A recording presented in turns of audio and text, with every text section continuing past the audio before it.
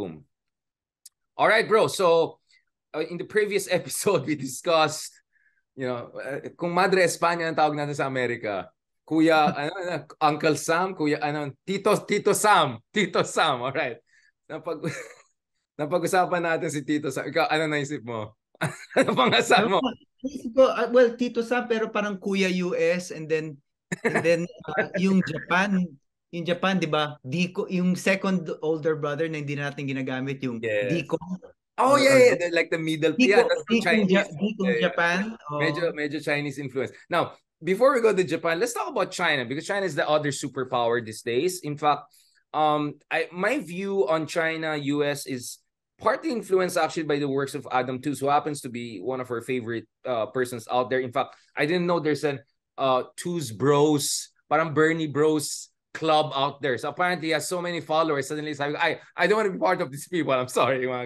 No, but but one of the things he said in a piece on London uh, in London Review the other year, because I think during pandemic he was very prolific and he said some very original things. In, in addition to his book, diba, on on the COVID post-COVID world, etc. He said something like, if you look at it, the Cold War was really a misnomer in many ways because fundamentally the Soviet Union was never really a peer, right? I mean, the economy of mm-hmm. Soviet Union was was barely comparable to that of Europe. Forget about bringing US and Japan. So taking off from that point, my argument actually is the real Cold War is now between US and China because China is really the only right country that comes closest to being almost a peer of US in terms of its continental size, in terms of its resources. Yes, it's poorer, but it's making up because of its larger population and technologically, bro, di ba nakakatakot? I mean, look at how fast TikTok caught up. Look at how China is dominating the electric vehicle. So I was very excited to get a Tesla, right? I was really saving for it and all of that. And then when I got to know China controls 85% of supply of EV, and then I got to read about Ikaw may Tesla, may Tesla ka? No, no, I was really going for that, right? And then I decided for something else. You can, you can for Tesla for the yeah, yeah, I was really going for that. I said I really work hard and save for that. And then suddenly I read about this, parang, hmm, I'm not sure I want to go for Tesla, right? Eh, Not to mention Elon Musk is extremely annoying on Twitter, right? So, so sobrang turn off now. I, I lost whatever passion I had for Tesla two, just two, three years ago when I was in California. But no, going back to this, I noticed the Chinese are dominating everything, right? In the cutting edge industries, in artificial intelligence, because they have no privacy laws. So they can bring in so many data to help with machine learning. So if you have spent some time in China, have you been China recently? Because, you know, I remember, bro, back in 2014, 15, 16, I was in China. They were already using QR code, like old people in Tsinghua, just outside Tsinghua. So we were there. I think si Jay Batongbacal pang kasama ko na like, nag, uh, we had a talk there. I'd go there and then we're like the only idiots with currencies. Everyone else was using QR code. It's like, Ano yung ano nila, yung anong yung chat, yung chat yung ginagamit nila 'di ba yung uh, yung oh chat yeah. WeChat, WeChat. Oh, Yeah, and they have this WeChat, which is Facebook, TikTok, uh, I mean, like Instagram, like everything, MasterCard, everything. So they were like, I just realized then palang, wow, China is leaping ahead of everyone else. You know, I, I saw things in China that I didn't see in Japan or even Korea, right? Some of the more interesting dynamic country. So I was really fascinated how Chinese guys. So if you look at it, for me, this is now the real Cold War, the one between US and China. Because Japan, because China can really match US, especially if China just focuses on the Pacific region. Because US is global empire, right? So sobrang Right. uh, right? So you're right. If you put head to head, US is still ahead. But if you put head to head only in the Indo-Pacific and our region, actually may laban ng China. And by some accounts, China actually now already has the military edge until 2025, 2026. That's why you had that memo by this American Air Force guy that they said by 2025, 2025, there'll be an invasion of Taiwan, blah, blah. Anyway, we don't want to go into that. All I'm saying, bro, is China, we cannot talk about US or Philippine-US relations without talking about China. It's a triangular relationship. I'm not sure it's a menage. Uh, uh, I don't. I, I'm not sure it's a kind of a threesome relationship per se, but it's definitely an important strategic triangle. So with that very long introduction I made, right, just to say mahalaga rin ang China. What is the secret history of relationship with Philippines and China? What are the myths here that we have to get rid of? So obviously the myths we're gonna talk about are all the xenophobic myths that we have to get rid of. But mm-hmm. I want to talk about the other side of the myth because we have a lot of Chinese friends or pro-China friends who say, you don't look at the history of China. They were always very nice to us, and you know we never had conflict, etc. But we also have, di ba, yung sino yung pirate na Lima Hong ba yan? Sino? Lima Hong, Lima exactly, di ba? Oh. Play the game like that. Well, the Chinese attack, but obviously you can uh, you can come back and say, well, back then there was not really a notion of China as a nation, right? So you know, Lima Hong was just some I don't know Fujian guy, whatever, who came here. We Uh-huh. also have this history, right? Some of the Chinese pirates here came from with with Japanese samurai, like uh, like you know, like Ronins, like even like it gets crazy. Like so, speaking of secret history, let's go way back, bro, like 500, 600 years ago, or even pre-Hispanic. What was the state of affairs between us and China, or were we just their proxy or little brother? What was going on there? As a historian, what do you know about it, or what are you Well, interested to know Well, about of course, yung well, of course, yung buong Southeast Asia, certain parts of Southeast Asia had tributary re- relations with China. Of course, it's more pronounced Yeah. with other polities at that time. For example, of course, Vietnam and Vietnam would was would, really copy yung parang yeah, Confucian traditions of China, including including the bureaucracy. That was never the case with us, of course, because of course our, our world was less that world, and our world was more kind of island Southeast Asia. Santa. Um, Yeah. yeah. Pero speaking of the Philippines, China, and the world, I mean, we were the gateway from. So, so when did globalization start? Global trade. According to the historian uh, historians Dennis Flynn and Arturo Giráldez, it actually began Galleon in the trade. Philippines. Galleon. Galleon trade. Yeah. And and their reasoning for that is prior to that, all of the all of the continents of the world were connected through trade except for the Americas and Asia. There was no Ah, I get. Yeah, yeah. The the So, so the moment the moment you connected that, effectively all of the continents of the world were trading with each other already. So so they their argument is that globalization began in 1571 with the inauguration of the galleon trade. Now, that meant that products from Asia were going into Europe, uh, were going to the Americas, and then uh, eventually they went into Europe. Right, right. Filipinos actually we were the way station, pero what we weren't really trading much. They didn't really want a lot of Entrepot, I think, is the political correct, right? I don't want to they, use. they- they may have wanted they may have wanted spices from Southeast Asia. You know, so this, the, the spice trade was very important. Right. But ultimately, the galleon trade was about bringing in American silver into Asia, Correct, correct, correct. the Europeans taking in Chinese products, effectively Correct. Chinese products. That, that was the biggest market. So you, so if if you like, uh, you can make the argument that China's trading entry into the Americas and into global trade was actually birthed in the Philippines. Um, Pupunta yan sa libro natin, bro. That's it. The first one, like global history, Philippines and globals. That's that's a Mm. very good observation. I, I agree with that. Actually, I agree with that. I'm glad that you raised this point. Okay, so galleon trade, we connect Americas to China, right? The two uh, uh, global, you know, hubs of production, right? And we're like the Singapore between them. Yeah, yeah. And then and then of course we know how important that Pacific tayo yung nagpasimun tayo nagpauso niyang Pacific trade na yan, 'di ba? And we know how important that Pacific trade is today. That might be the like the most important trading route today, especially because the America America hasn't really dis, disentangled itself from Chinese production practices all. and that's one of their biggest vulner- that's one of their biggest vulnerabilities, 'di ba? Um and so when when you think about it in those terms in global terms, that's one thing I want to say in terms of history. Um, but as a kind of conceptual background also, kailangan talaga natin i-disentangle yung Chinese people from Chinese from the Chinese state. Um, Okay, let's do that. It's very important.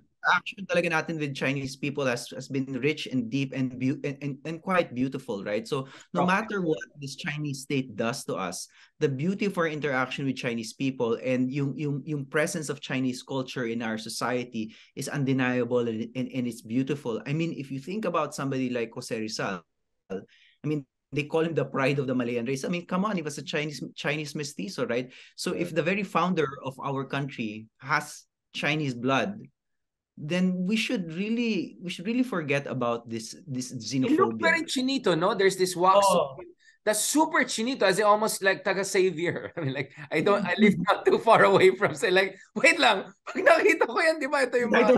Tan, Stephen Tan, yung mga ganyan, di ba? Yung mga savior, super matalino, mabait, di ba? Ganon. Oh. I, I'm sorry. I, I, know- I, I hope I didn't sound. I mean, I'm giving a compliment, right? Ito yung mga nasa School of Econ sa UP and BAA. Yung mga ganun, like, he looks super chinito. Actually, hindi siya moreno. Uh, he was more chinito. Um, and I asked Ambeth, uh, I said, wait lang, is this is this wax accurate? Because it's actually super chinito, not moreno, Filipino, so- so-called. uh, Hindi. So I don't know. What do you know? I mean, is he like as Chinitos? Uh, I don't know if you you go like put Rizal, wax, something, lalabas yan eh. Makikita mo yan on Google. I was fascinated by that. The, the reason of course why ano the reason of course why nakalimutan natin na Chinese siya is because during the late 19th century for tax purposes it was just better to identify as you know simply yeah, Indio. Mercado, and of course it becomes part of you kind of yung nationalist idea na you know Los Indios Bravos pero of course Chinese Chinese yung Chinese yung heritage, right? So and then you know like you I mean I'm sure if you look if you did a DNA test like you'll be surprised at how Chinese a lot of us are. Like I I mean I mean I myself did a DNA test.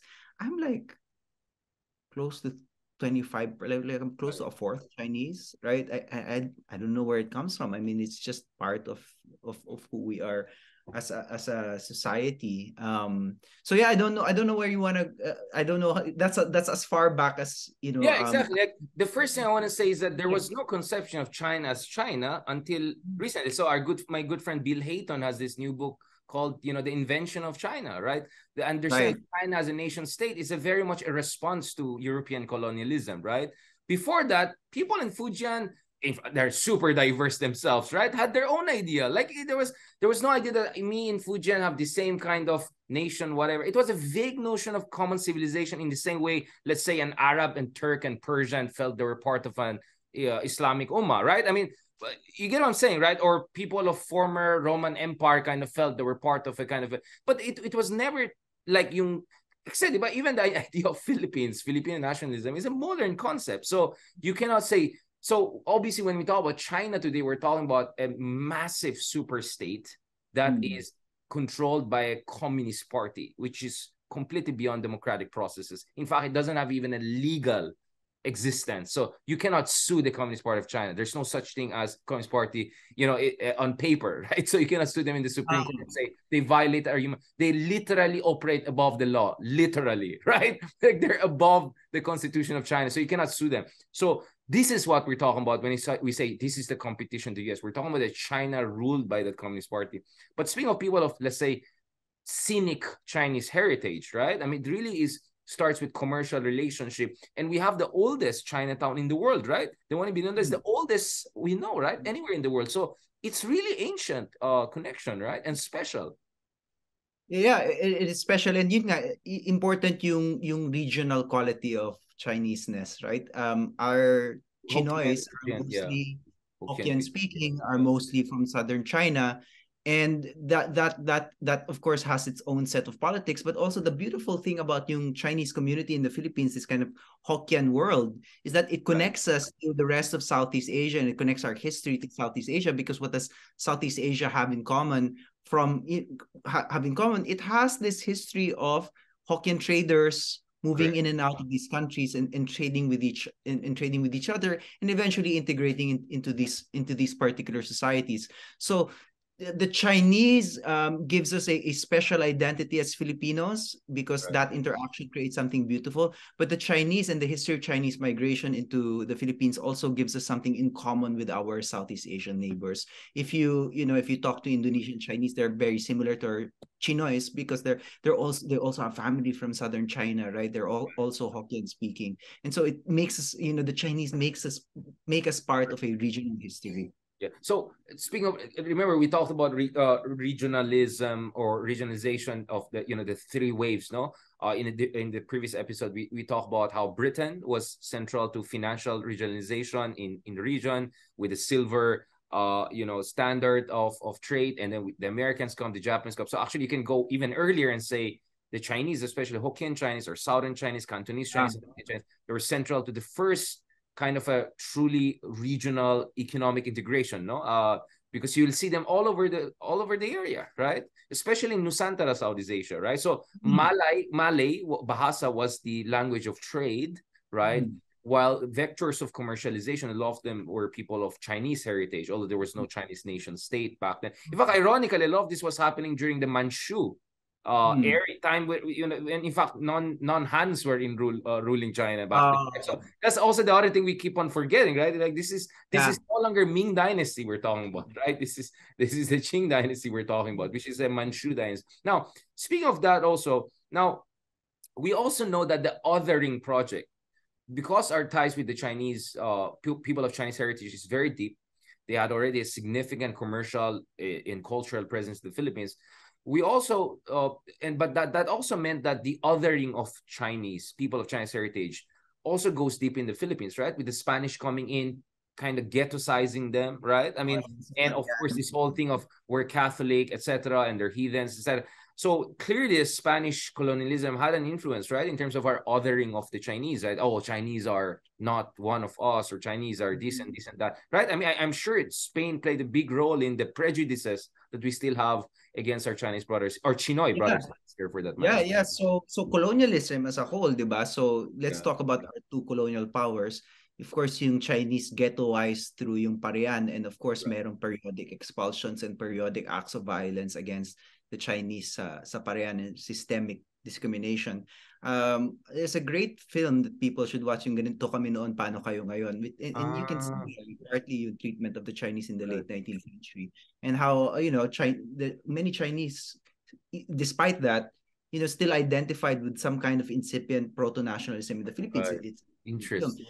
And then and then of course yung Americas, uh, yung America pagdating nila, they had the Chinese Exclusion Act, 'di ba? So bawal pumasok ang California, Chinese. yeah, yeah. Yeah.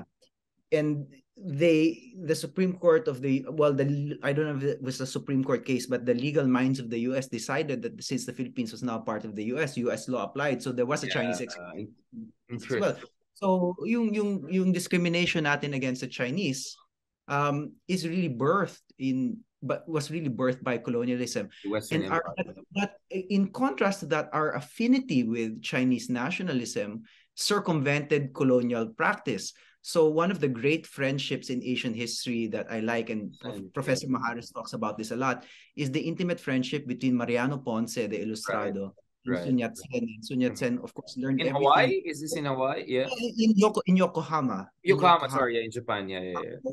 And um, and Sun Yat-sen really learned a lot about the history of the Philippine Revolution and Philippine nationalism by his friend Ponce. And In fact, Ponce died on a ship trying to visit Sun Yat-sen. Hindi na sila nakita. Wow, ever. that's how, yeah. That kind of intimate relationship and uh, via Sun Yat-sen, many of the texts of the Philippine Revolution, many of the texts of Philippine nationalism were eventually translated into Chinese, and that became a part of right. Chinese nationalism. And we were saying, you know, in this in the in this agitation against the Manchu dynasty that would eventually result, of course, in in in the formation. 1911, yeah, yeah, the the, the, yeah, the formation of um the the Kuomintang. Um, so may, meron meron talagang ganyang history. Ilustrado uh, Kuomintang uh, connection, right? I mean, uh, people, yes. I mean, writers uh, like uh, Pankaj Mishra, right? Uh, you know, on the ruins of empire, writes very much about the influence of the Philippines on nationalist movement, including in China, right?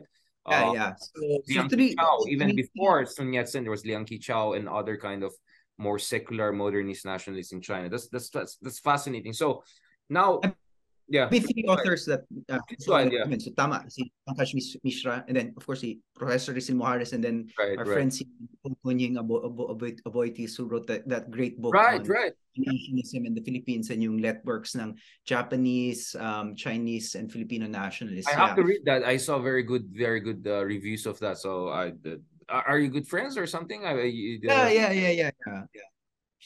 That, that should be fascinating.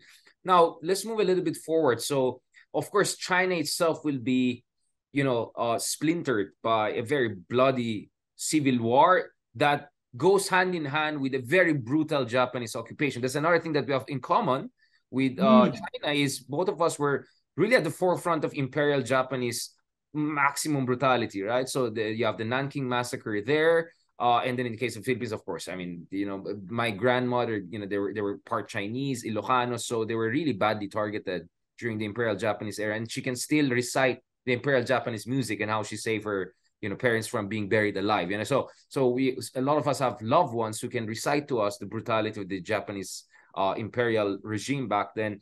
Um, but going back to this, so China gets splintered. Uh, you know, at some point, Kuomintang and and and communists have to have a kind of a united front. Zhou and uh, you know Zhou Enlai tries to negotiate that. It kind of works for a while, but eventually, of course, as the Japanese withdraw, a lot of beating was taken by Kuomintang, so that benefits the communists, right? I mean, I don't know if you agree with that, but that's that's really the a lot of uh, what recent history is showing that one reason the communists won that civil war is precisely because the Kuomintang did more of the brutal because they had the conventional capabilities to fight the Japanese and all, and there were tactical races. But eventually, the, the communists come on top. The Kuomintang will be pushed to Taiwan. So that had an effect on Filipinos here, right? Because there were a lot of Filipinos. I, I know even the schools in my area, because I'm in San Juan area, okay, oh. are like pro, Taiwanese, right? Kuomintang mm. kind of Chinese, and then now you'll see more mainland Chinese. Like that's that's fascinating. Like when we talk about Chinoy, we forget that there's these huge divisions, right? Yeah. Uh, political, yeah. ideological, and and cultural divisions that that, that we. There, there's a there's a there's a book that that uh, that, that just came out actually about yung, yung divisions ng Chinese community during this period about right. people who were loyal to the Communist Party and, and about yung, yung emergent anti-communist Chinese Filipino politics of Philippines. It's because a lot of the schools were actually really close to the Kuomintang and, and exactly. Taiwan. Side, yeah. so, so for example, I mean, Xavier School you mentioned. Xavier School uh, was actually initially not run by the Philippine province of the Society of Jesus. It was run by the the Chinese province of the Society of Jesus, which was effectively an Taiwan. exiled province, exiled yeah. from the communists, so effectively from Taiwan. And then you have, um, you know, um, schools that are explicitly loyal to the the Kuomintang by virtue of their name, like Chiang Kai-shek School, di ba? Kasi yeah, exactly. You can see that it's pretty open. Yeah. Of of of um of, of, of the Kuomintang. So so a lot of those politics, a lot of the Chinese politics uh, are playing out in Southeast Asia because a lot of those politics are also a politics of exile and diaspora. And so that's a lot of those debates are happening. The Philippines are also happening in, in Taiwan. It, it's it's a very interesting history, which you know I I, I have to admit I, I need to learn more about this particular history. Yeah. So that's one of my goals after I start. of course, I you know I was based in Taiwan. About yeah. and Garcia no, no, I, I, that's that's what makes our our, our, our podcast really crazy, right? No, I mean, eh, what I also notice is sorry, people always talk about mm, our our anti-China prejudice, whatever. But I, I'm sorry, I noticed that Filipinos were super. You know, we we have very positive uh, views of Singapore, which is Chinese majority, and also Taiwan, right? So you know, so clearly uh, this is not racialist per se, right? Because our, our perceptions of Taiwan and Singapore is very different from our perception of mm-hmm. China, and mm-hmm. all of them are Chinese majority, right? I mean, in terms yeah. of ethnic and and and uh, well, oh my, call you have you noticed that, right? Like if they say ang Pinay racist, but no, but we really love Taiwan, we really love Singapore, so oh more to this, right? Just we have a we have a kind of we have a kind of admiration of certain forms of Chinese modernity, parang East right, Asian. Exactly. Yeah. Exactly. So so I mean that's that's something or probably Philippines would always like Shanghai more than Beijing. I don't know. I mean uh, I always hear very good things Filipinos say about Shanghai, not as much about Beijing. You know, so I maybe it's something else I want to look at. Obviously, our relationship with Fujian is different because a lot of our friends have ancestors there or founder ancestors there. I think Rizal's monument can be found in one of the villages in Fujian, right? Uh, where his Chinese ancestor, the Mercado side, come from, right? So speaking of the Malayan hero, right? And then of course yung ano yung kind of reclaiming din of Chineseness on the part of our national leaders. Of course si Cory Aquino pumunta yan sa sa China talaga and then like kind of retraced her own roots as a as a Chinese Filipino or Chinese mestizo mestiza herself. So so that, so so that's part of it. I have to make an admission. You talk about all these Chinese cities. I've never I've never been to mainland China. I, at, apart, you have to from uh, a, that, bro. Yeah, from a, behave. Be there's, nice there's a, episode. So you get visa. There's a reason why. Pero meron akong thinking na actually meron akong personal boycott of the People's Republic of China. Like I just don't want to visit our imperial our potential imperialists. So like there I really want to see Russia and China pero meron akong sense of politics na I don't want to spend money in those part in those two yeah, countries. I still feel that about Russia because Russia is one of my favorite countries no? But after invasion of Ukraine in fact even the first invasion of Ukraine 24 I suddenly feel different. You know I had a hard time because I Russia is one country I love you could see all the Turgenev and Tolstoy everything behind me no? Um so I can understand where you're coming from. No file ka so file meron ka pala ganyang uh, uh, oh yeah I love Russian uh, I mean there's like Richard Heydarian before he read all of these thousands of pages of the idiot forget about the brother Karamazov and all of that. I read all of the other ones that, like for instance, Demon. I mean, the things that people don't read. I read all the Dostoevsky and Turgenevs and everything I could find. Like I was obsessed with Russian because it helped me to cope with a lot of dramas in life, including when Duterte became the president. I had to like I had to read what? and Son. So yeah, bro. Like Russian, uh, Russian was had a huge part in, in in my intellectual and cultural imagination. But but so I understand where you uh, your feelings about China is kind of conflicted. Like I want to be there, but my ganon. So I have that feeling also about Russia right now, right? Um, now going back to this, obviously things get a little bit tricky because Cold War comes, you no, and things get even trickier when Stalin dies, speaking of Russia, and then Mao Zedong becomes the big boy or the big brother of the communist world and tries to exert influence in the post-colonial world. So I, there's a fascinating book, the you know like global Maoism or something like that. Uh, like, love, Mao, right? Fascinating, right? Uh, it, it really changed my perspective. Of how I didn't know uh, Mao was that ambitious. I knew he was kind of crazy, but wow, like from Africa to Latin America, he was competing, right? against mm-hmm. Soviets, not against US. He was competing against Russians, right? Uh, because he was he, supposedly he was angry with you know, de-Stalinization and all, but I know it was all about his ego. He wanted to be the top man. Uh, and he had reasons to have that ego. Now, obviously, that has direct impact on the Philippines because we suddenly have the founding of a new communist movement in the Philippines, right? Which in many ways is not your Russian style Leninist Stalinist one, but it's more like a, a Maoist kind of mm. communism, right? Now, I, okay, I just realized we're entering very tricky, tricky territory. Okay. Um, let's just have a least crazy version of this part of discussion. So just without you going into the whole, you know what I'm saying, right? Um, just tell us a little bit about how influential was China into the the uh, the the into the as far as the left in the Philippines is concerned, especially from 1950s, 60s onwards. Well, so sa youth movement talaga naging influential ang Chinese communism, 'di ba? Because yung yung idea of the cultural revolution from China which Correct. where the youth would be the vanguard of remaking society, Correct. that had a lot of that had a lot of global appeal. Even people who weren't claiming to be communists took inspiration from yung kind of youth politics of Maoism and you saw this nga in, in yung book of Maoism of global history. Yeah. So even the Black Panthers, for example, are drawing from that. Sure. The Weather Underground, the United States are also drawing from that. And then of course the Philippines, it really begins with yung youth group of the original Communist Party of the Philippines, yung Partido Komunista ng right. Pilipinas. That youth group was called Kabataang Makabayan. And um, yung, was headed in the early 60s until the mid 60s by a man named who just passed away, uh, Jose Maria Sison. I don't really want to call him Professor Jose Maria Sison because if I'm not mistaken, he was just an instructor in UP.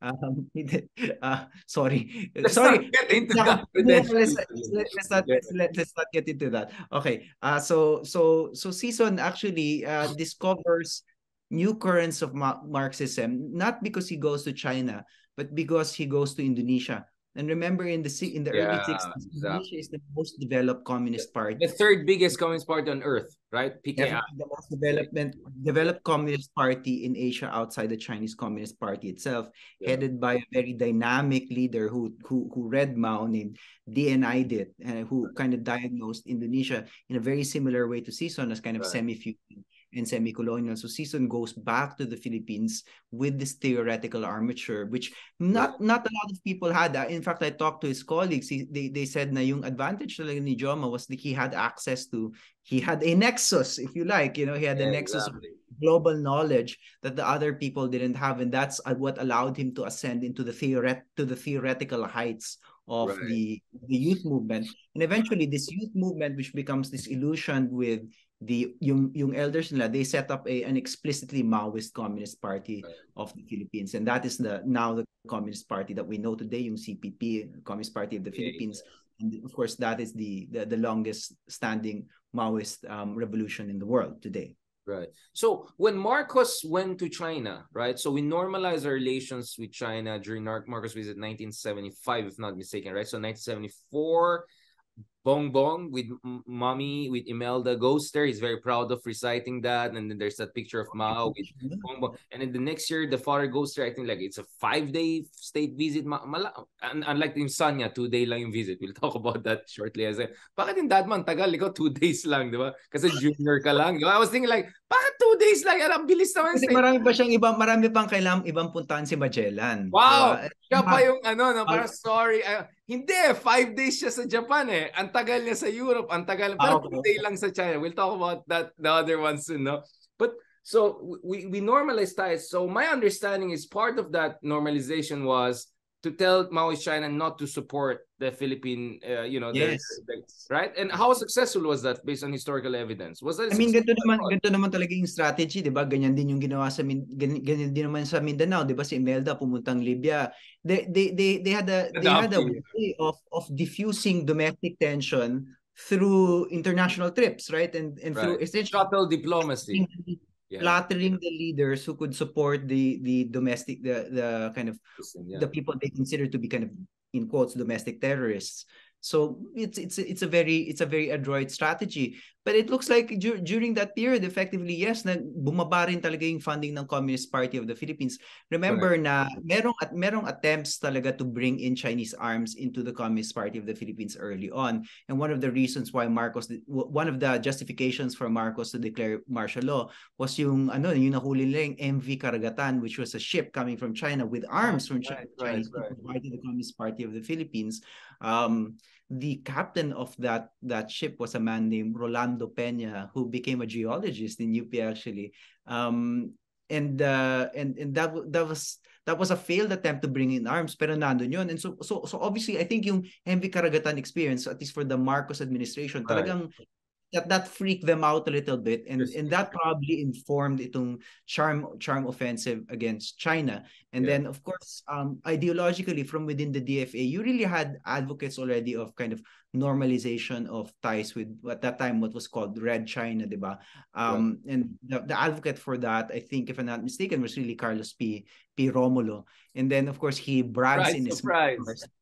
He brags in his memoirs that He brags a lot. Philippines uh, is a mayabang na tao. Uh, he was a funny guy pero mayabang. Kay Nero, di ba? Yung bragging, you know, Nero was like, I warned Nero about, you know, the, oh. you know, like, and he was so happy because of, he called him General Romulo or something like that. oh, General Romulo. Guys, he's so influencer, right? If if he had YouTube channel and all, this guy would have been the Joe. Ay, my God, uh, God uh, Carlos Romulo YouTube or Carlos Romulo TikTok would have been amazing. That guy would have been the guy. His podcast would be, I mean, oh. we're all driven out of business if that guy was the oh. podcast. Tsaka nakakatawa raw siya. Nakakatawa siya eh. Yeah, yeah, must be, yeah, smart kasi. Yeah, oh. witty, smart. Oh. I didn't tsaka know that. Pero tsaka self-deprecating yung humor, you know, the humor of parang uh, a short person who knew who yeah. was short. Was, unahin ko na, unahin ko na before oh. you try to, yeah, very, very, so, now obviously then shopping comes in relation. So wait, like, sorry, tapos yung yeah, kwento about. Sorry, yeah, go ahead. Yeah, yeah. So Romulo brags na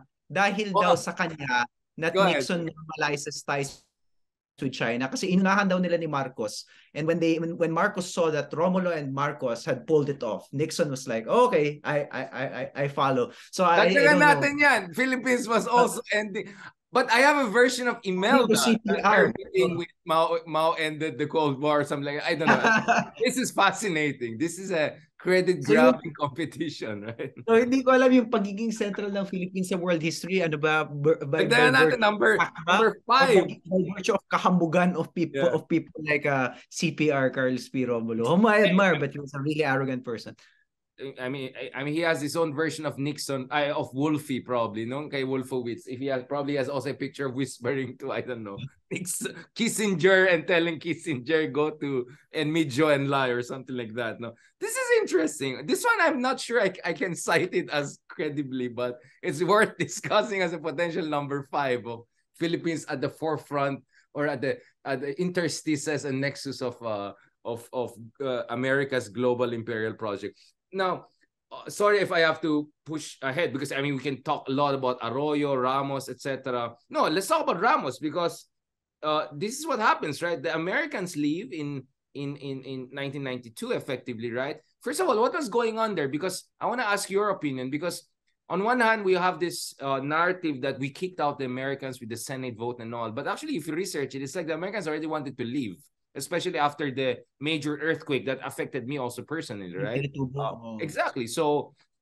the volcano and then the earthquake. So the Americans were saying like sobrang sira na tong area na to and volcano like we just want to get out of this area, right? So for mm-hmm. them it really didn't make sense to stay. So it's not really our Senate kicking them out. It was them really not that interested. So eventually negotiations over basis extension we're not going forward because Americans didn't want to cough up more money. They just didn't see the value. In fact, the term they used was peace dividend, right? Which is we're spending so much. E talo na Soviet Union, but pa tayo gagastos? It doesn't make sense anymore. So George Senior, uh, George W. Bush, uh, George Bush Senior, his idea was like let's let's try to extricate ourselves, no, uh, and and and have a different strategy. So, what is your take on that? What was really going on there? Ah, actually, bag bago ko ngayon ko lang narinig but th- that's a very fascinating fascinating insight and ang, ang reaction ko diyan itatay ko dun sa sinabi mo kanina is right. Maybe the United States didn't know at that time when what the real Cold War was because they ah, didn't going back to what it says yeah the China was coming. importance of Asia. Yeah, now right. one wonders no if right. they knew what would happen 30 years later would they have so easily abandoned those bases diba lalo na kung alam nila na magiging right. focal point of global tensions actually ang ang Pacific. You That's think a, they could have done it? Sorry, you think the Americans could have forced the case on the uh, on the Philippine post-Marcos?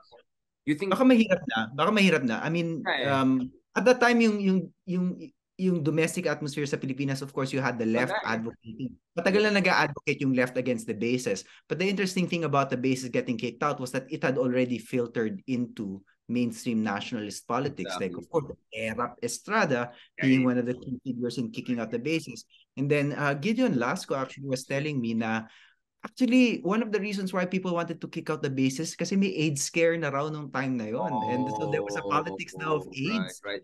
80s kasi, the, yeah, 80s oh, informing the kicking out of the bases. So that, that's a, that's a kind of fascinating angle that um Gideon's looking into. Oh, interesting. Yeah, I mean the medical geopolitical uh, aspect. Uh, wow, that's interesting. Yeah, like paranoia can play a big role, and and I don't know if your era probably these things play a big role in your decision making on geopolitics. I say, ay, madami uh, policy na natin, I mean, especially mga mayor kind of thinking of people. Now, so the reason I want to mention Ramos is because the mischief reef incident happens very shortly after Americans leave. No, in fact, I had the back and forth with Teddy Casiño uh, on Twitter about this issue. Like, you know, like oh, you think you can just persuade China by being nice to them and all? Like clearly they're opportunistic. I'm talking about communist regime in China. They're opportunistic. The moment they they sense weakness, the moment the Americans left, they they oh. went for it, right? So within two years, mischief reef was wala, gone, diba? Um, so that should have but been. But a calculation about that time. Talagang ano pinaghandaan nila. The Chinese, yeah, yeah, always, uh, they're always like that. Yeah, yeah. Of course, they follow very closely everything like that. So my understanding is like that. Eh. But this is also the era of karaoke diplomacy. You know, Ramos trying to uh, sing with, you know, with uh, uh with Jiang Zemin and try to charm them. But clearly, Ramos was smart enough to realize the bilateral diplomacy has limits. You still have to have leverage. That's why he pu- pushed for AFP modernization. He pushed for VFA. I don't think Ramos was, you know, super gong on, and also ASEAN diplomacy. But he realized each of these had their limits, so he had to do all of them at the same time, right? So for me, that's why Ramos had the most uh, sophisticated approach which I called bi-multilateralism. Bilaterally deal with China, but also multilaterally try to get support from ASEAN, from US, from allies, etc. But anyways, I I think I already covered that. Now, a little bit fast forward time. Uh, Arroyo comes in, and Arroyo, of course, diversifies because she gets bashed a lot by US and Australia for withdrawing our troops in light of saving an OFW from being massacred by the precursor to ISIS. Mm-hmm. Uh, in, uh, Iraq, this is Al Qaeda in Iraq, which later on will be uh, part of the ISIS, diba? Daesh. Um, so that's where I would say that's the birth of what later on. Because if you look at it, bro, uh, I don't know if you uh, you, you watch probably my interview with Arroyo, right? She openly admits that mm. Duterte's foreign policy is not too different from hers, or like she's. But we ah. know that realistically, she's actually the chief advisor on foreign policy on Duterte, right? So we clearly see the embers of what we're seeing. We have seen over the past five six years actually goes back to Arroyo era. Actually, yeah. now that you mentioned that, a side yeah. question, yung, yung increasing closest ni Bongbong sa US, is this also telling, is does this say about yung the deterioration of the relationships relationship between the Marcoses and the Arroyos? Ah, that's a very interesting uh, thing to look at. Uh, well, we're digressing, but papatulan ko yan. Unang-una, I think overestimated yung role ni Arroyo in putting the Duterte Marcos axis or what's what what, what did they call themselves? Unity team, right? Uh, during that, mm-hmm. it was really Martin Romualdez who was really the decisive factor, and we clearly see why.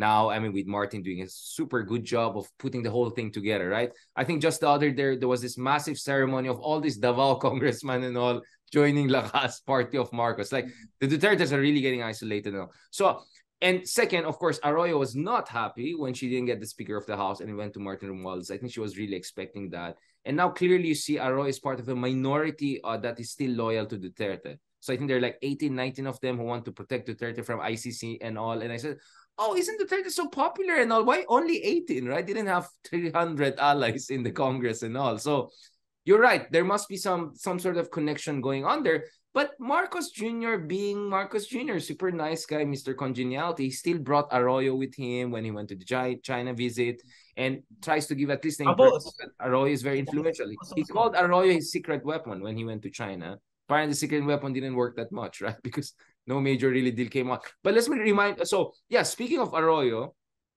I think we appreciate her Spanish a lot. Uh, she did some very interesting things. I, honestly, I, I know I'm digressing here, but let hear me out, okay? I'm not saying this because we're related or I call her Tita Arroyo, but hear me out. Um, so some of the apologies or whatever, some people say ganito, if you look at Arroyo, she wasn't too bad, was she, when she was in the D, uh, she, Department of Trade and Industry, when she was a senator, when she was a vice president. She was kind of like the right person. Kaya nga nung EDSA, she was the hero of EDSA DOS, diba? Uh-huh. The argument is this. Hear me out. Uh. I mean, I know it's it's very controversial. I never bring it up. But the argument is something like this. Parang, if sana lang that EDSA DOS didn't happen the way it did, and and she became normally the next president, meaning Erap finishes term, super unpopular, whatever, and then she gets elected, she would have been actually a very good president. It's mm. the hmm. fact that she was thrust into a vortex of a chaotic situation. And then you had the constitutional issue on whether she could still run for another time. That's where things really went, you know, off the rails. No. So parang the idea is that if only she became the president earlier, if someone would say she could have even she she would have had a good chance even against Erap had she run right away now for the presidency in 1980. I'm not I don't buy that as much, but the idea was that if she just stayed as a senator and then ran for president in 2004, she would have had a very different place in history. Why is this important, bro? Why is this important? Because don't don't you think it's kind of weird that she's still a congresswoman? She's still around. She's writing, uh, what is it, Deus Ex Machina? You know, don't you think something is going on there? Because my reading of that, bro, uh, I know you tell me what you're. My reading that he she's looking for a redemption pa rin. A part of her feels that history was unfair to her, that mm-hmm. she was not mm-hmm. able to to display her best of skills, and somehow she became the victims of the worst of Philippine politics. Again, uh, I know I never wrote about this because I know it's it's so controversial. But I want to talk to a historian about this and tell me about this. I, again, it's a counterfactual that I rather discuss with a historian than an economist, political scientist, whatever. I think historians are best to talk about. Tell, tell me about it. I, I know it's I know it's part of screaming against this, right? Interesting but, din yung psychology ni GMA eh, because parang GMA has a chip on her shoulder. Yeah. And she really does want to prove herself. And I was talking to one of her classmates, hindi ko lang papangalanan, from yeah, Assumption. From Assumption nung high school daw. And yeah. GMA daw kasi yung assumption napaka-alta ng atmosphere. And si GMA, anak siya ng presidente, pero yung tatay niya galing sa mahirap eh. Yeah, exactly. Hindi, Very, uh, yeah. Hindi sila part of the traditional elite. And yeah, so yeah. medyo dinamata daw siya ng mga traditional konyo sa assumption. And because of that, GMA daw like had had had a certain fire that she wanted to prove herself that not not just that she could make it in high society, the high society of assumption, but that she could do better than than right. all of them. Right? So so meron talaga this is like I think this is a kind of tradition classical origin story ano, origin story. Story yung yung according to our classmate yun daw talaga that that that that, that mo, assumption daw really explains the psychology of GMA yung kind of hyper and this is you know assumption is alta now but in the 50s it was even more it was even more rarefied so she became overachiever. So if you're an overachiever like her and she's quite a smart person i would tell her i'll, I'll give her that um then you would really feel bad. Not you ended up as the most unpopular filipino president right? Like she had negative uh-huh. net ratings. I mean, it's insane, right? Her ratings are like if you look at all post Marcos presidents, all of them had like at least a peak and then a little bit, you know, but they're still keeping a certain level. She's the only one who like is there consistently for year after year, negative, net, negative. Look at the net numbers of Estabiliasa. Hindi lang uh, net numbers. She's like a whole class in herself. And out and she served for almost 10 years, right? So she's she's a she she has occupied a very unusual place in her history. And I think from her perspective, she, history was unkind to her or the, the things that turned out. Because yeah. hear me out again. Uh, my sense is if it was Ramos then Arroyo without Erap in in the middle, we could have avoided Duterte. Interesting. And probably even Aquino. We didn't even need an Aquino. It would have been totally wala na Aquino. Yeah, kasi wala rin naman Duterte kung walang Aquino, di ba? It's, exactly. It's so you could, and probably no Marcos Jr. too, right? Like, yeah. for me, ERAP is really the reason all of this is happening. Right? Yeah, yung uh, yung EDSA Tres, which really kind of broke yeah. so many yeah, things. The, yeah, and resentment and yeah. We reacted to EDSA Tres, yung kind of elitist way we yeah, reacted. Exactly. Something went so, really off the rails there. The, the, uh, the thing about GMA is, I think, well, she was rubbing against two parang inherent biases sa Philippine ng Philippine electorate. Number one, the Philippine electorate is sexist. And number two, the Philippine electorate doesn't like China, and she was the Against president. The, uh, yeah. us closer to China, and so pa, mahirap talagang i-shore up yung ratings niya with those kind of inherent yeah. disadvantages. And of course, and number you know, three, we hated corruption at least back then a lot. Yeah, yeah, yung ZT and everything happens. Yeah.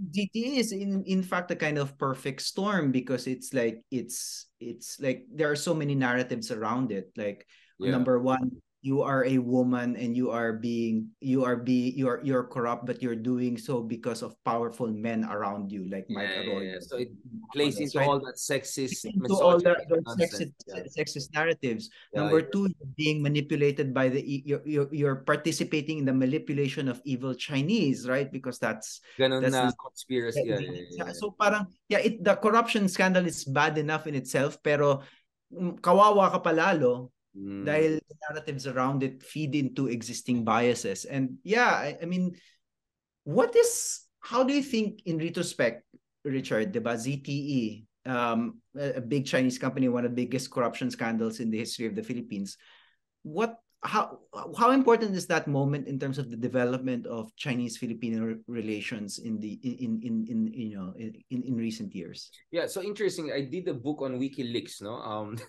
so I had to go through a lot of cables. You know, one of the things that fascinated me, Lelo, is even the American embassy was impressed by how nice U.S. Philippine and China were working out in 2004, 5, 6. So Arroyo goes to China when Jiabao comes here. Like even the Americans were saying, yeah, maybe they can work it out and we don't get need to get involved. I mean, it was crazy. I mean, look at read the cables. Especially when the JMSU and all came out. Even the Americans were kind of saying, who knows, it might work, right? So my sense is China had a golden opportunity to really lock it in long-term good relationship with the Philippines and really go against all the biases against China, Cold War biases against communism, Spanish era prejudice against the Chinese people, etc. And they they they messed it up, bro. They messed it up. It those corruption cases, not to mention yung North Railway project that went the racks. I, I mean, after it, that tells you China is not that sophisticated because that was really a good chance for them to make inroads in the Philippines. Which brings us to the uh, to Duterte era, right? Because this becomes once again a big mistake of China. They had a golden opportunity with Duterte, but I think they thought they can have it on the cheap, which is we'll just promise it, do nothing, and then hope the Philippines will be nice to us because it's to no, no, no, no, Richard, do you think that they that they thought they had it on the cheap because they had some sort of other power, some something over Duterte that that has that and and, uh, and probably intermediaries something, yeah, yeah. something Is there a possibility, for example, that they help him get elected? You know, I mean, this is speculation, of course, and part, part this is like the Russian compromat on on Trump, right? Like oh, something oh, happened in the hotel in Moscow. Oh, for me, I think it's more more than that. I mean, for me, I'm sure there are many intermediaries and people, uh, you know, influential people in Philippine business and politics around the Duterte who gave China an impression that this is locked in. I, I, I even heard from, you know, back in the day, I was arguing that no, this Duterte thing is not sustainable because the defense establishment in the Philippines, because of public opinion, because nothing is going to come in, etc. And the someone said, no, no, this is not, this is it. This is for the good, right? And that person is now in, in this government. So I don't know why uh, they. In this, in this, ano, tuta ng Americano government, in this sa Yeah, yung uh, weird. Like, ito yung mga believe na believe kay Duterte, bigla nandun na siya. But anyways, it's a, he- they put him in a totally irrelevant office sa kanyang skill. So, he looks like a fool when he talks about things. But anyway, I don't want to say more. Baka, well, anyway, um, so, so if you look at it, China, they had a second chance under Duterte and they still wasted it because they were, they thought they would get it on the chip. So my sense is they don't have very good ambassadors here. Uh, you have Ah. ambassadors here who are sending the wrong signals back to Xi Jinping. You know why, why I believe that's because look at the face of Xi Jinping when he came here in 2018 in Manila in November. He looked pissed off. Like, I thought they love us and everything is gonna get done. We're gonna sign a new JMSU and all, and he got nothing. You know what happens? Teddy Locsin goes on Pinky Webb's, uh, uh, you know, the, the, the show on CNN says, alam mo yung mga pro-China dyan, pinapasign kami, ayaw namin yan.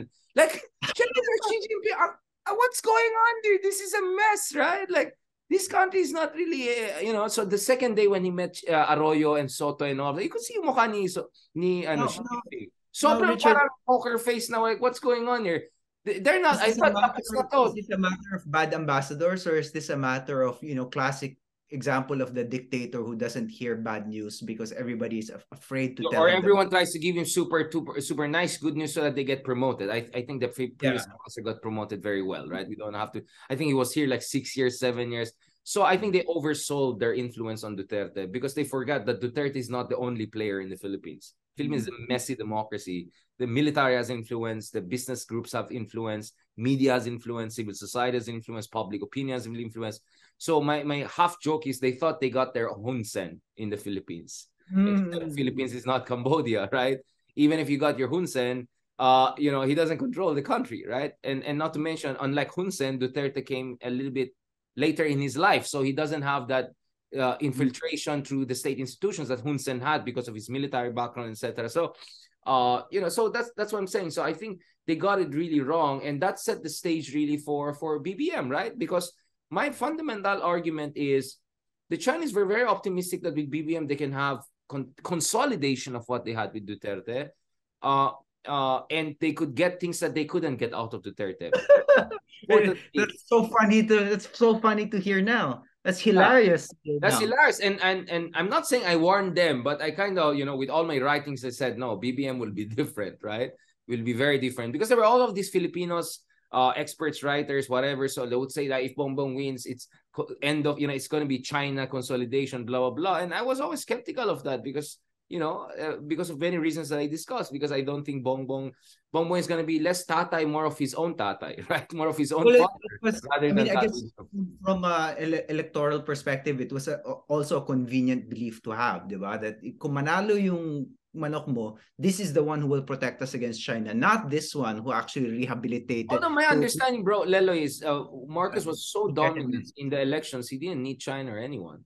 Assuming Right. he even you know cons- he was just so dominant, bro, like sixty percent. Yeah. I mean, come on. Now you don't believe it? Look at the approval ratings. If he if he really didn't get 60-50, why is the approval rating 89? You're saying that's also fake? Come on. Google Analytics na lang tayo. Hanggang... Ah, na naman tayo! My God. Ayan Oo. tayo eh, di ba? Ayan, makis na naman tayo ng pro Marcos and all. No, but seriously, bro. Um, so I think Marcos had it so smooth, right? And he just didn't rock the Duterte boat, so they got he got it. So so he didn't really feel, you know, like something special for. He was good in talking, like, oh, in 1974 I was with my mommy and we went uh, Tito Mao, and Like he would always say that, but he really never felt that affection. His affection is for British underground music, for jazz. Ay, ito, to the West. Yeah, his affection is for his Wharton days and his Oxford days, and he's he's a totally different kind of political, you know, uh, uh, species, no, from Duterte who barely visited the United States, and apparently, according to him, he was even rejected from passing through LA, coming back from I don't know Colombia or whatever. So he's a totally different. But as I said, bro, I think the decisive factor was, and as as I said, uh, I wrote in March 2022, three factors will determine how Marcos comes out, right? I call it minimalist uh Marcos, you know, like like you know, middling Marcos and like super. I remember. One is the uh one is how big he'll win because that will give him a sense of destiny. Well, he won big. Second is essentially I was saying, will Sara Duterte dominate him or it will be the other way around? I think we now know the answer, right? Uh, Like what Sara No, Duterte yeah. doing, right? What did Cayetano say about the office of vice president? And number three, what will the superpowers offer him? So look at what Biden offered him. Offered him the most important thing. Hegel said, the struggle for recognition, right? Like this is the Fukuyama. He gave him the recognition. That is the most, which is essential to the full rehabilitation of Marcoses. And more than that, US is offering so much more investments, military assurance, and we know when when US comes in, Japan comes in, other countries come in. So, and then what did he get from China? He was there two days, just two days. Uh, it was like, sorry, I have to go to Japan next. Uh, five days, you know. Um, bro look at it there was a strong joint statement i broke it down in my articles uh like six articles where like you look at it nothing on any chinese project the only thing they mentioned was like the davao project and all nothing about clark railway high speed railway nothing about Mindanao. like they didn't even bother to offer him anything and then on west philippine sea nada the only thing is we'll have more communication channels as if that helped us during Duterte. He had the best communication channels straight to I don't know Xi Jinping, but it didn't work, did it? Right? Reed Bank with Sunreef and also China didn't give him much. US gave him more than he ever expected. So I think that's where he suddenly is all in into it. Remember, so Mark the mentioned US during elections. Sorry, I, he barely mentioned US during elections because I'll be honest, bro. I think a part of Marcos was worried how US will react to his presidency. Like, mm-hmm. tayo, may mga court cases, mga ganun. Eh, Biden, di ba, Democrat yun. So I think he was a little bit worried. And then once Biden called mm-hmm. him and all, like, and then Wendy Sherman comes, number two, says, oh, you have sovereign immunity, right? Which is what I always said. I said, look at the case of Modi in India. He was banned from entering US once he becomes prime minister. Automatically, he's welcome US every day, right? So I think that that really affected him. Is like he feels good. And then, of course, around him, he has people like Babe Romualdez, our ambassador to, to Washington, was also his cousin. And Babe Romualdez is a very sound, traditional minded person who believes that we have to make these relations with the with US robust. So we are where we are. Where we are, where we are. Si, si, Mana, si Manalo, si Manalo, anong reading mo sa kanya? Manalo is up. No offense, uh, no offense. Remember in the British system, they have like a permanent secretary of affairs, and then there's a separate foreign affairs guy. So one is more like the administrative, one is more strategic. I think it's kind of like that, no? Uh, no offense. I mean, Manalo was a great ambassador to UN and all, but I think he's more like the permanent secretary, secretary type, you know, in the British system. While institutional memory, Romualdez are more or less our, you know, our foreign policy architect because he's handling the most important aspect of our foreign relations, which is relationship with the United States. So, so the ang question ngayon, Leloy, is, sorry, I'm talking more because I know you got tired, you talk a lot, is, um, what will China naman... do next? Ipit sila huh? Because what will China do next? Now, the, the, the problem is the ball is in China's court, right? If they bully us more in the West Philippines, see like the stupid things they're doing now with the laser and all of that, the more my excuse tayo to go to the US camp. At the same time, hindi naman pwede na mangmang lang ang China, di ba? So that's why I said, China should offer something. China should offer mm. something, bro. Uh, and the question is, what are they gonna offer him? Yung tanong ko sa'yo, Richard, parang, do you think the die is cast? More or less, ito na yun. Ito na yung Marcosian foreign policy. Uh, yes and no. Yes, in a sense, I think there could be a sustainable long-term trajectory.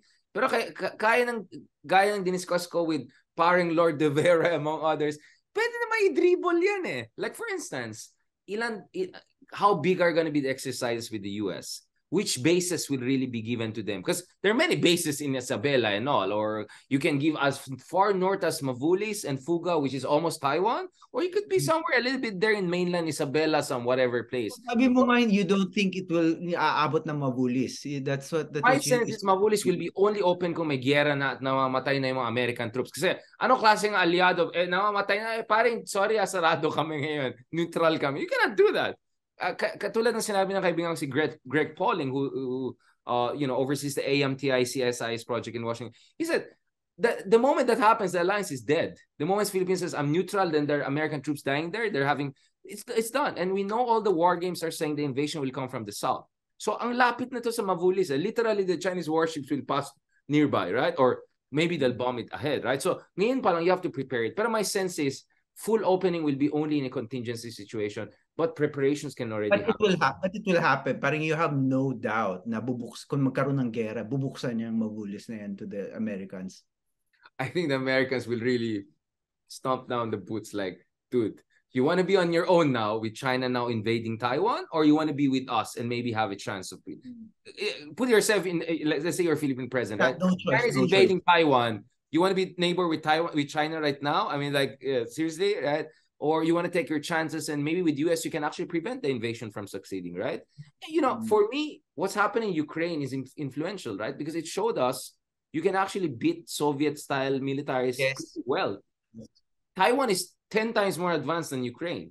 And if it has Speaking of US which, ah, yeah, speaking which, mahirapan talaga China dyan.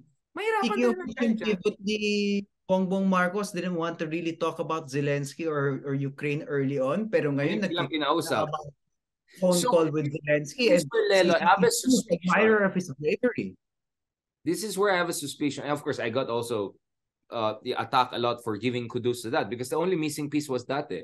Because we supported, we supported. Ukraine through and through, di ba? We supported them in General Assembly. We supported them when kicking out Russia from the Human Rights Council, etc.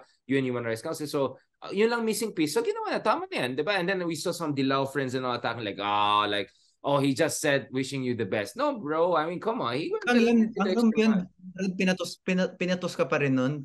Yo, oh, From for that. Yeah, parang I'm OA daw ako. Anyway, just to uh, end on this point because we still have to discuss Japan, but very shortly, sorry to our Japanese friends. Um, or maybe next time. No, I mean the Next- thing is, um, Japan. yeah, next time I think. I'm, I'm gonna have to do something very Yeah, I Japanese. know, man. It's always I have 3 a.m. Like I have a I'm- I have a jujitsu I have a jujitsu I know, class. bro. So so so let's do the Japanese episode hopefully in the near future. Uh, I'm sure Japan will be always exciting. No, and speaking of this, diba? Um, for me, pwede natin pa rin dribble yan, diba? And, and, and, no, speaking of uh, of Ukraine and all, no, I, I'm saying what happened. Because remember, the Chinese military technology is a derivative of Soviet technology, which is where the Russian technology comes. So if they're doing so bad in Ukraine, forget about invading Taiwan, which is amphibious and 10 times more uh, advanced. So, in short, Marcos understands a basic word that Yeah. the other side doesn't seem to understand, which is called deterrence. This is Mm. all about deterrence. Again, as the Roman, uh, you know, the, the proverb goes, if you want peace, prepare for war. Because if you're prepared, you're not going to be invaded. It's only when you're No. unprepared and No. weak that you get invaded. As simple as that. And the Japan, of course, when we speaking of the Japanese, the Japanese Talaga, is- singit mo na yung Japan for the sake of it. pinakaala, ito yung pinakaalam ng mga Japanese about about the Chinese. So so even if for example yung capacity nila to develop a military is limited, yung capacity nila to to to develop And, technology and Yeah. surveillance technology that can hem in the Chinese. It's yeah. it's something that they've they, that they've really relied on over the years. And I must say, you know, I suspect that the Japanese, even though mas maliit yung army nila, eh, mas maliit yung forces sila, they're probably technologically superior to the Chinese. Oh Is yeah, that- they have that- they still have the best navy in Asia. And by the way, Japan is gonna double its defense spending thanks to China. Uh, Mm. and so that's three hundred billion dollars over the next five years of additional spending. And Japan has very high tech uh, uh counter strike capability. So uh, everyone forgets about Chi- Chi- Japan. Japan is still the world's third largest economy, right? And it has the most advanced armed forces in Asia, at least. So that's why I thought maybe we have to have an episode on Japan because it's also a very complex uh, and Mhm. interesting, fascinating uh, relationship, especially because now Japan wants to also negotiate a visiting forces agreement with the Philippines. So hopefully in the next episode, we can go down into the weeds and discuss also Japan because it's a country I think all of us love in one way or another, but we also Yes. have very complicated history with them, unfortunately. Yeah. we adore, I mean, I, I feel, ko un, un, un, unadulterated ang love ng Filipinos for Japan eh. Right? Japan is parang that's right. it- Yeah. it's, it's in fact the opposite of yung China, yung nagulat si Xi Jinping at how much they didn't like him. Nung dumating yung emperor ng Japan sa Pilipinas, Yeah. nagulat naman, nagulat naman siya at how How much much he's like me, yeah. Bro, no Kasi World ako Cup. naman, I, I was having conversation with actually Yeah. Japanese diplomats and they asked me, you know, delikado ba na pumunta yung emperor dito sa Manila? Sabi ko, hindi. Kasi sabi nila, the emperor is worried.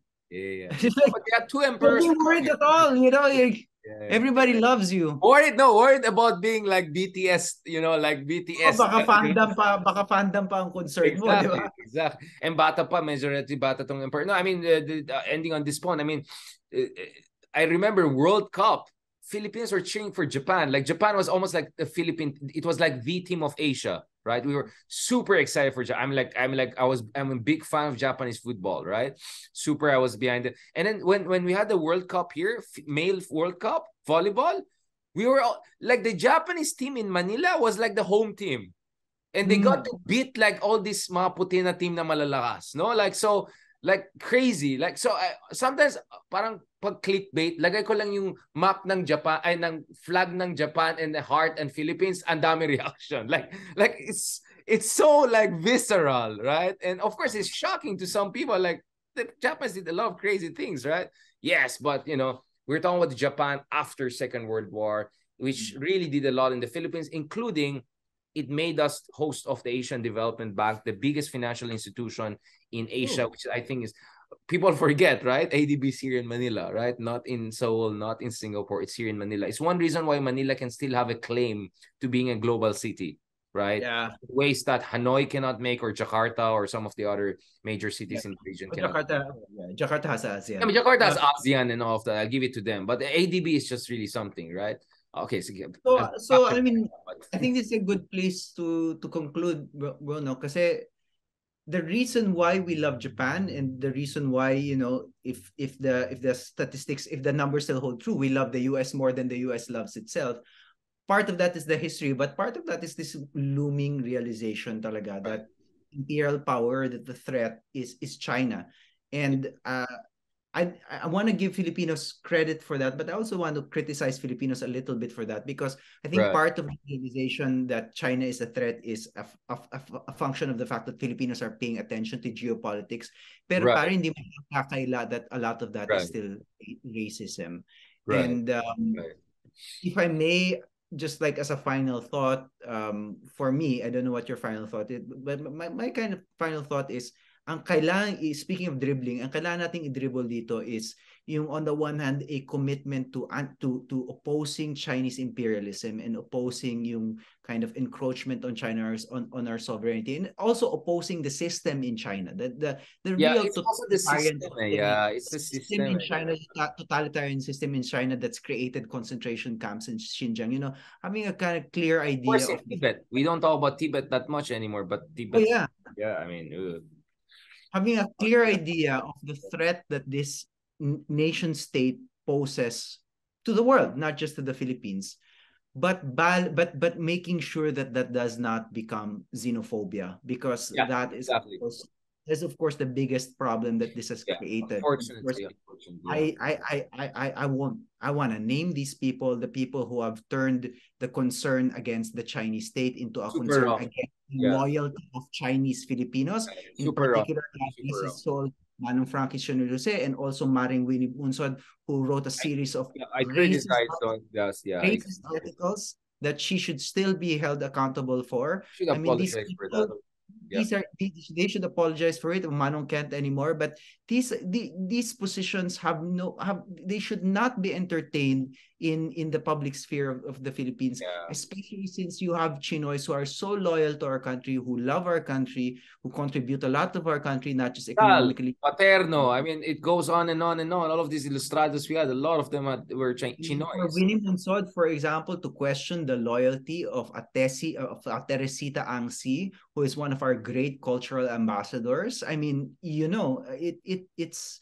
it's really sick. That's, it, it that's, really that's unfortunate. Yeah, I I I, I, I we are on the same pages back then, right? We were both on Inquirer. I criticized her on the same page. I said, no, I have to call this out. You know, on the same pages in Inquirer. I, I, in fact, I started with Edward Said and Orientalism and accused mm-hmm. her of Orientalizing China, essentially, right? Uh, but that's it. Eh? No one is calling out because she's the hero of the opposition against Duterte and now Marcos, right? So I don't know. For me, again, uh, let me also end on this point. Now, on my side, I am not against cooperation with China. I think we can have a credibly fruitful relationship with China, but from a position of strength.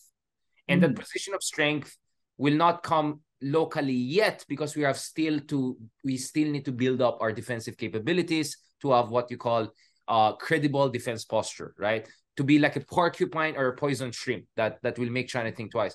Until then, and this is what I told Teddy Casiño, this is why it's not mutually exclusive. While we're developing that, we have to also have robust networks of alliances. Not just one country, but multiple allies. And this is what we are working on. And you can do both of them at the same time. For me, of course, the, the traditional nationalist in me is not comfortable with foreign troops entering our soil, etc. Uh, what I would uh, uh, add though here is let's see how Marcos will leverage EDCA to push for America to give us real advanced weapons because we never got real fighter jets from America. I mean, you, if you watch Top Gun, they call F-18 fighters um like dinosaurs, right?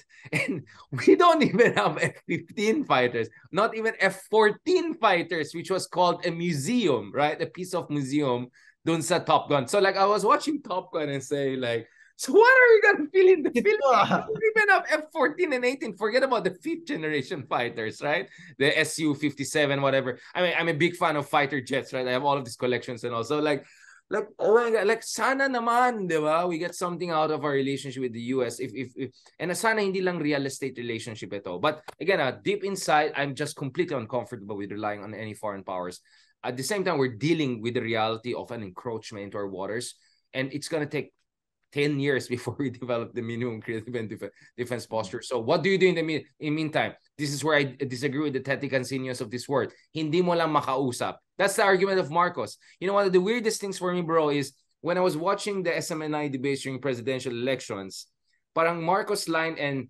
Calodi's line on China, parang can you tell me the difference again? You're like sometimes like kausapin na lang natin. Let's just be nice to ASEAN. Except Bongbong will completely turn right once he's in power. Like he goes, forget about you know he goes Ramos PNoy almost right. There's a bring in the Americans. Oh my God! Oh, parang Noy Noy. EDCA is a PNoy legacy. So oh. Marcos he expanded the PNoy legacy. Isn't that like wow? Only in the Philippines talaga mangyari So we end this Nexus episode on Actually, like an exceptionalism sa geopolitics, I would say. I know no country on earth, bro. You know me. I love all, I study all the world, but I cannot find a single country as wild as us in terms of foreign policy in only six, seven years. Like how from 2015 to 2023, like it's it's like analyzing three different countries in three continents. Three, like it's one is like in North Pole, one is like in South America, one is in Sub-Saharan. It's so insane, bro. But this is where I think we're really exceptional. So I'm gonna go against the spirit of our next two and say no, talagang exceptional talagang Filipino eh. the tourism slogan natin, uh, the Philippines is just a strange place. Yeah, but a beautiful place and we love it and that's why we do this episode. So thank you so much to everyone who's followed. Actually, uh, yung phone ko dito sa side na off na, ang tagal natin. I think we did, wow, I think we, we, we've been here many, many hours, right? I'll just put it that way, no? So this is, I think, our new record. It just tells us how, I mean, it's 3 a.m. here, but I'm, I'm, I'm so excited. The reason I was having hatching and all is because that means I'm my body's weak now, immunity is weak because okay. I'm tired. But you can see my parang the mind wants but the body can't, right? So I'm gonna like parang medyo may pagka Lenin mo like the mind goes, you know. No, um, so thank you so much, bro. I really appreciate it. I hope we can catch up again. So this is uh our latest episode, and we discussed the Philippines relationship with uh our ex Beshi because this was Beshi of Tatay Digong, but not Beshi of Magellan, I'm Marcos Jr., right? All right. Thank you very much, bro. Talk to you soon. Let's talk about Japan and yeah. so much more. Uh, speaking of Marcos Jr., he's going to visit US soon, so we have to talk about that. And uh, I heard also Elysee Palace, you know, he's going to go to Paris. Uh, oh la la. So there's going to be Macron, Marcos, Sandro, poshy posh. I call it posh diplomacy, right? I mean, oh. he's so posh, right? When he goes to New York and Davos, he loves it, no? Posh diplomacy. Kaya siguro two days lang siya sa Beijing oh. kasi wala siyang favorite hotels doon. Nachipan, nachipan pa siya doon. Oh. no, no, no food. Masyado daw novo for him. No hotel lang yata siya doon. Sige bro. Thank you so much. Talk to you soon, bro. Enjoy your and everything. Yeah, so, Put on my now. Bye-bye.